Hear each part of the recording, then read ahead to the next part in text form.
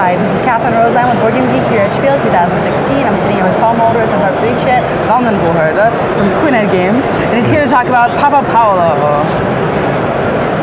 Yeah? My turn. So please tell me about the Hello. game. Hello. so the, the meaning of the game is that um, you in five rounds you try to deliver as much pizzas you can. oh, okay, fun.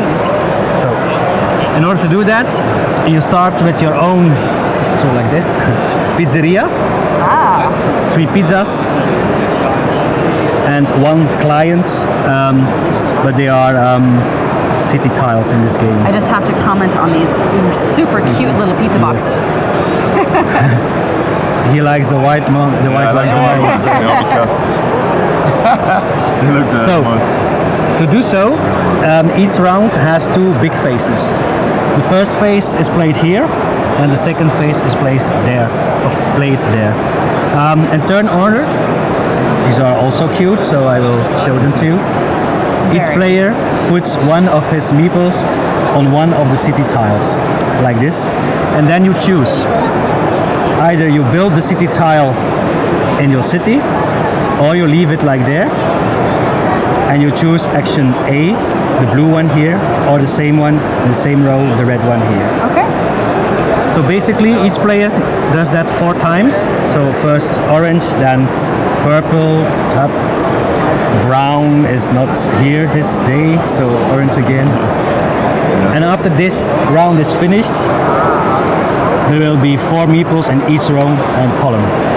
Then we divide the money here as follows. In this row, there are most orange meeples, so this Orange will get the money. orange will get the money. In this case, the money would go to white because white is closest to the money. Aha, I was about to ask that. So, in the first phase, so players choose to either build on the city or take some actions. The actions you can take are uh, rather simple. There are four possibilities. This one means take gold, that lovely golden rooftop. yes, and then you look at your experience boards. So now, for the moment, I can, if I choose gold, I get three golds because my experience marker is on the tree. And if you increase this at a later point, you can gain more you can gain one. The same about buying pizzas. At first, you uh, pay two for one pizza. If this one is here, you get extra pizzas for free. Red action, express delivery. You want to deliver a pizza right away. You pay That too gorgeous money. little airplane. Notice the airplane. You, you pay two money and then you can deliver one pizza. If you are here, you can deliver two pizzas for two mm-hmm. money. And the last one, the green action, is building a new pizzeria, and then you choose one of these pizzerias, pay the coins, and put it in your city. That's the first thing about this game. Then the second phase is the bidding phase with these cute little fellows. The star player plays a bid on one of the um, bidding places on this grid here. If you bid, you bid for three things. First one, the column you bid depicts the delivery tile you get. Second one, the highest bidder can invest first, is the one highest on the stairs, and the one who bids in the first column also uh, is the start play for the next round. So after some bidding phase, if this is the situation, it's brown again, his turn, he has, or, or white, has to move his meeple because he has outbid.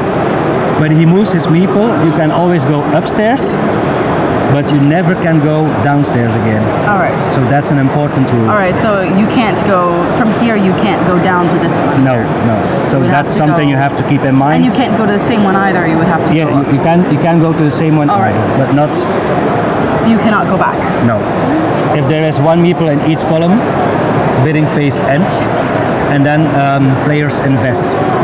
Investing is really simple. There are four possible investments. The highest player chooses one first. If you choose the blue investment, you can either go one step to the right with your blue uh, token, so from this place to this place, or you can perform another blue action All right. So these have two functions. Yes. Either the function on the to move your XP uh, token or- to gain experience or to take an extra action. Then players deliver pizza. That's according to these tiles. So this tile says you can deliver five pizzas, two blocks away, nine pizzas, four blocks away. Ah. Then you, uh, when you have built a city, Yeah. uh, yeah.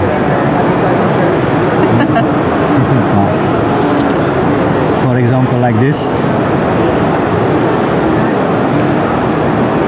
Voila. When you're delivering pizzas, is as simple as taking your pizzas and then follow the road and put them down on the colored rooftops. So this one is a yellow uh, city tile. I can put three pizzas here if I want.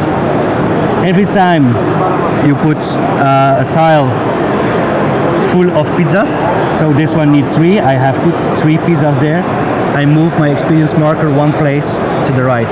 It's a yellow house, so my yellow track goes like this. All right. So it's your it's your income you're increasing. Yes.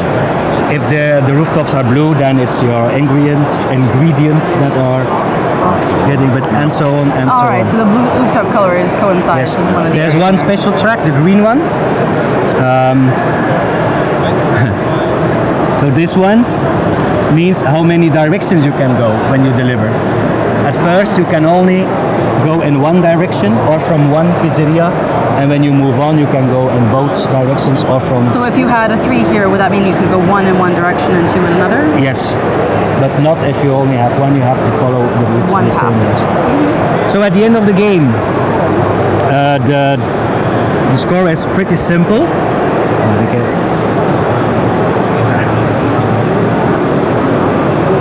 So say it's like that.